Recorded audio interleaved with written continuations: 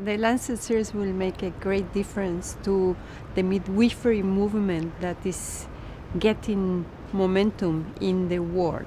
It will really support them. It will make countries invest on midwifery education and the regulation, and it will expand and upscale the programs that uh, there are on midwifery right now, for which UNFPA supports across the world.